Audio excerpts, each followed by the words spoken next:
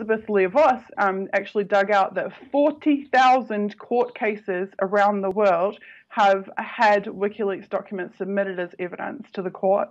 So we can't even imagine how many lives have been positively impacted by that having that access to the truth. Wow, that's a pretty big number. Forty thousand court cases worldwide using. That's amazing.